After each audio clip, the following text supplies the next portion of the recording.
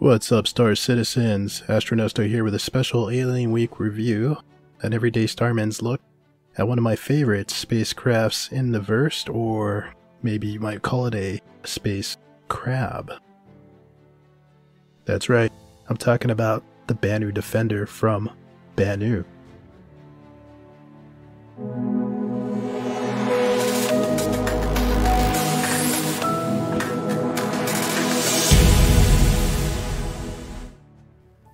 So let's take this crab out for a ride, and I'll go through everything that I like about the ship, and I'll kind of like, at the end of the review, give it a little score like most of my reviews, but in more of a relaxed uh, manner like I've been doing lately, because you guys seem to enjoy that, and I know I do myself. So, before we dive in, I just have to remind you guys that I'm giving away a Nomad starter package, so if you're subscribed to the channel and you leave a comment, you'll be entered to win when we hit 300 subscribers. And if you could hit the like button on this video if you actually enjoyed it, that would help me out a lot. For a channel this size, it really helps immensely. And I appreciate you guys for doing that. So, with that out of the way, let's go have fun and get to know the Banu Defender. Alright, so because I'm a big lore geek, I love to talk about the history of a ship before we dive into the review. And uh, by the way, if at any point you guys want to skip ahead, you can just hover over the progress bar and find a section that most interests you. But why wouldn't you want to get to know what made the Banu Defender the Banu Defender?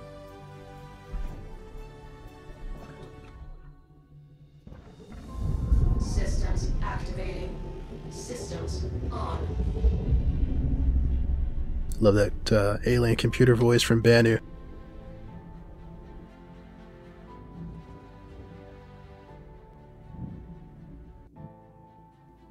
Thank you, and please visit again. So as promised, a little history about the Banu Defender.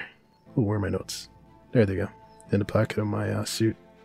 The Banu Defender is an old design dating back to before humanity's first encounter with the Banu in 2438. That makes the Banu Defender more than 512 years old, so she looks like she's aged pretty well if you ask me. Since Banu record knowledge, not so much history, its design origins are conveniently unknown. But we do know that the Banu like to incorporate the best tech they encounter while trading with other species. That's why today's defenders have dropped the human thrusters in favor of superior Xi'an ones. And boy do these babies roar. The latest iterations also featured Tevarin uh, Phalanx shields, making this a true hybrid fighter. And since defenders were designed to escort merchantman caravans, they are engineered to be fast and to take a pounding. The strategy is that attackers and pirates would have to deal with these guys, while the rest of the caravan makes their escape. So the Banu equipped these with long-range quantum drives to allow them to catch up to wherever the caravan escaped to. And let me tell you, that's a feature that today's Banu Defender owners enjoy. I love this. This is hands down the best quantum money can buy. One of the things I really like about alien ships is they have unique quantums that their human counterparts don't have. And if you ask me, the Banu has the best one. I know what you're thinking, who would do a delivery run in a fighter? But I think you'll find the Banu Defenders full of surprises. Welcome to Hurston, the site of this quantum delivery scenario. Also a great place to admire the design of the Banu Defender. That gold trim just reflects power and wealth. Definitely a nice exotic to have in the hangar of your spaceport.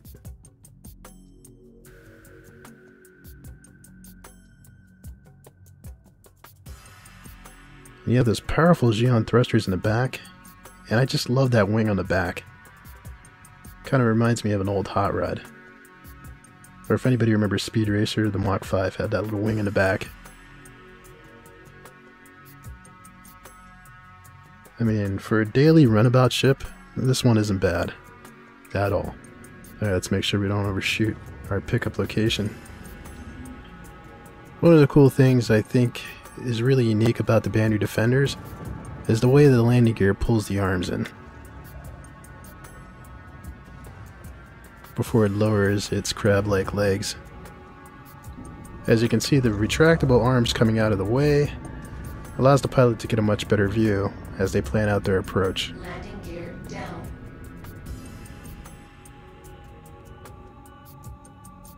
Something else I really enjoy about the design of the Banu Defender are the two bulbous-like cockpits for both pilots. They, uh, of course, play into the crab aesthetic and they look like eyes, but they're also pretty functional, which we'll talk about later as well, too. And even the way the door is open kind of makes you think that you're looking at a crab. And if you catch a server that's performing pretty well, you can play around with the door and make the Banu Defender talk to you. How many ships can do that? So before we pick up our highly volatile cargo, let's talk about the interior just in case I screw this up guys. Both cockpits look pretty much identical, and they are equipped with ejection seats, which is a nice feature to have. One of the things the ship is supposed to be able to do is allow the co-pilot to pilot the ship, but it hasn't been implemented yet.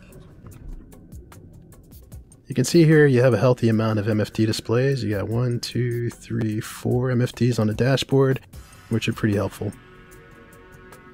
And you even have the HOTAS uh, configuration, which I enjoy myself. But the exterior looks grand, as well as sleek and functional. I can't help but feel like I'm flying around in a sports car.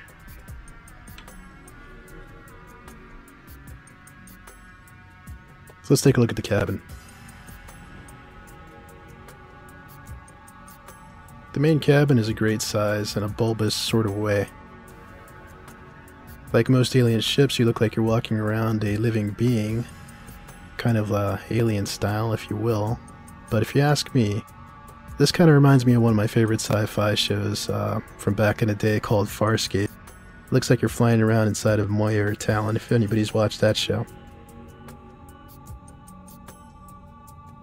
Having two beds is a really nice luxury to have in a fighter. In the future, it's going to allow you to reliably bed log out wherever you are in the galaxy. And as you can see, the Banu probably designed this because you didn't know how far a defender might fall from a caravan. But I think it's a great feature and adds to the versatility of the ship. Also nice that both pilot and co-pilot get their own bed. Notice here to the side we have weapon racks for both the pilot and co-pilot. Also pretty functional and a nice feature to have. And back here, eventually in the future, I'm told these panels should be um, serviceable, so you'll be able to open these up and fix some of the components inside. Alright guys, let's go get our package. And hopefully we keep our beautiful Defender together. A little bit of a rough uh, step there. Alright guys, I'm not gonna lie, I'm a little bit nervous about this. If we screw this up, my beautiful Defender's gonna go bye-bye. Handle carefully. Alright, I'm afraid to drop this. Although it's quantum sensitive, right? So I should be able to drop it, I just can't quantum with it. Another great feature of the interior is because it actually has a decent sized cabin, you can pull off a mission like this for delivery. Not too many fighters are going to give you that ability unless you go into like the heavy fighter range like a Vanguard or something.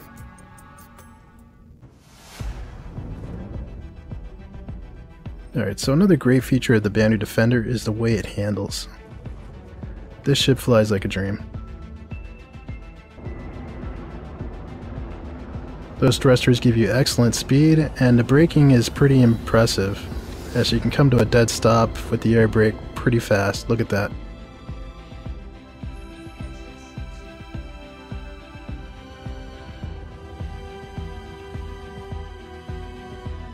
I don't recommend flying around with hazardous materials like this, but the ship is really responsive. Definitely one of the pluses.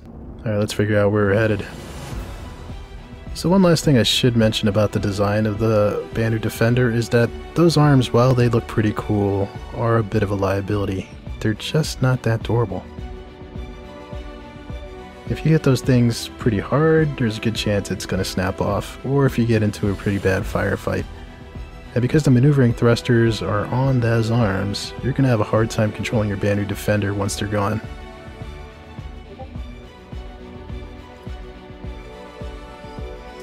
Finally, we're arriving at Edmonds to make our volatile delivery on this beautiful planet.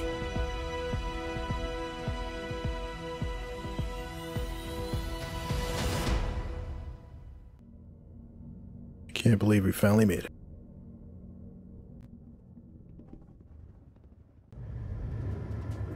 Alright, well, this really wouldn't be much of a review if we didn't take the Banu Defender into actual combat. But before we do that, let's talk about what it's bringing to the fight. So the Banu Defender has four Singe S2 Tachyon weapons. Two of them are on the arms.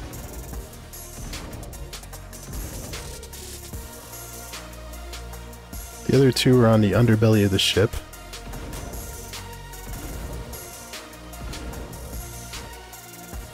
Then tucked at the very bottom of the ship is the missile rack, which is only packing size 2 missiles, so they're really not going to make much of a splash. So pick your shots wisely. Yeah, so it's an interesting choice of weapons that they decided to give the Banu Defender. My problem with the Tachyon weapons is that the hit scan on them is kind of like a auto lock, auto targeting kind of like system, but it's it's a, a little bit weird for me. And also the fire rate is extremely slow, so you really have to pick your shots out pretty well to get the most out of it. Same with the missiles, they're not really that impressive, so you know you want to use those wisely.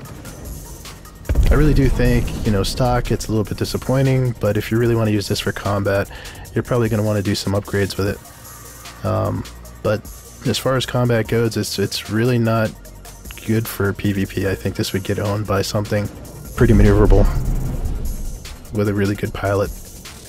At least in my opinion. What do you guys think?